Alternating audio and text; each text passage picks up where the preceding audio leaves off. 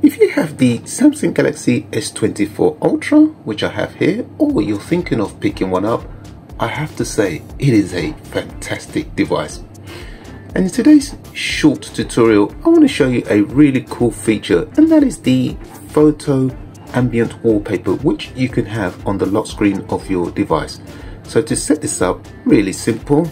So first thing to do, press down on the screen. Bottom left, select wallpaper and style. Then change wallpapers. Then scroll up somewhat till you see this one that says creative. Select it here. And at the top there, it does say home and lock screen.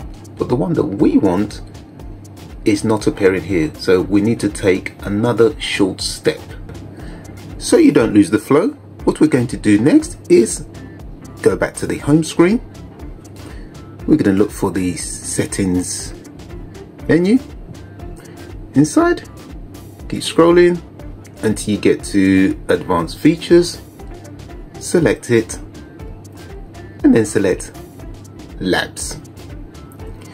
Once you're in there, select this option that says photo ambient wallpaper. So just show you what it says there. So just some brief information how the AI will adapt to the photo ambient wallpaper. Okay, so just select that and on the top right, just enable that and we're ready to put it into action.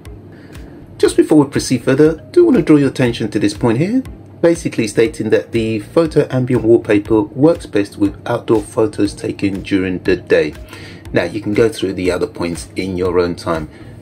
And the other thing I want to say is that apologies for the poor lighting. This is one of the drawbacks of traveling from hotels to hotel rooms because the lighting is not always the greatest. So like before, we're going to press down on the home screen, select wallpaper and style, change wallpapers. I'll just scroll up a bit for this tutorial, select creative, and right at the bottom there, we now have the photo ambient wallpaper option, which we can apply to the lock screen. So what we're going to do is just tap on it and you'll see just some little bit of information how the AI changes your photo based on the time and weather. And again, just to repeat, right at the bottom there, as I mentioned earlier, states works best with outdoor photos taken during the day. So let's now put it to a test. Once you've chosen the photo ambient wallpaper option for the lock screen only, actually select it here. The try now, you'll only see that once, then it will disappear. And as advised, it is advisable to pick a photo that has been taken outdoors.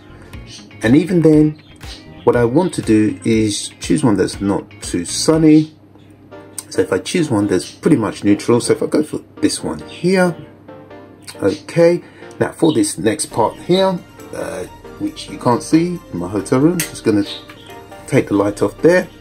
And now just gonna press on here and now you can see the effect Oh, this is so cool. This is so good. Yeah, this is the photo ambient wallpaper with the AI being applied. I think that is excellent. And then naturally you can save it to gallery. And what I'm going to do in this case, on the top right there is just tap on done. Look at that, changes applied to the lock screen.